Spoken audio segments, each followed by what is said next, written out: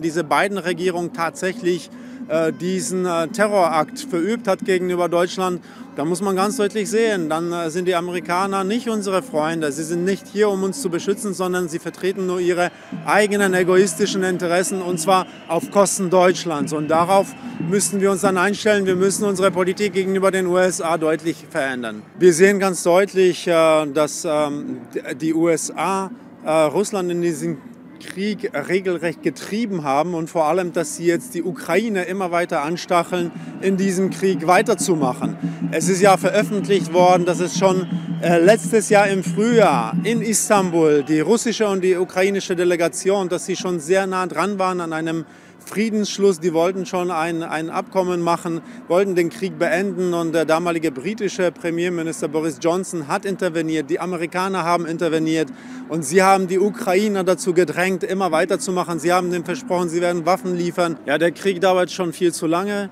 Äh, Deutschland leidet darunter, deutsche Industrie leidet, vor allem die deutschen Bürger leiden unter den hohen Gaspreisen. Das sind alles Folgen der falschen politischen Entscheidung, das sind alles Folgen des Embargos. Und äh, die Menschen wollen deswegen auch deswegen, dass dieser Krieg endlich beendet wird.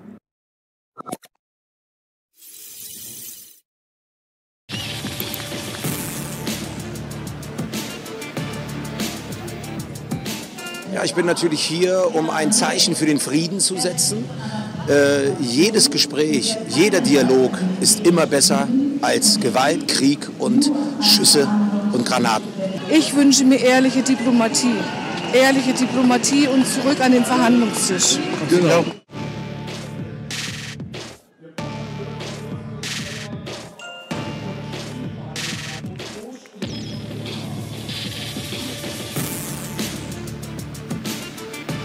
Ja, wir sind heute hier, weil wir dafür sind, dass dieser Krieg in der Ukraine sofort gestoppt wird.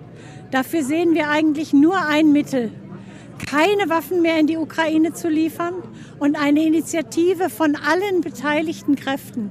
Dazu zähle ich auch die USA, denn sie ist sehr interessiert daran bisher gewesen, diesen Krieg zu verlängern.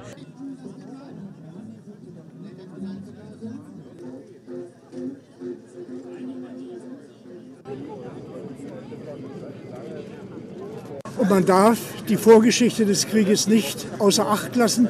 Und wie hier mein Plakat zeigt, die doppelte Moral wird hier sichtbar. Also äh, das ist erstmal der genau der richtige Standort hier, weil die USA und auch die NATO, aber vorrangig angetrieben durch die USA, der Kriegstreiber immer in der Welt war.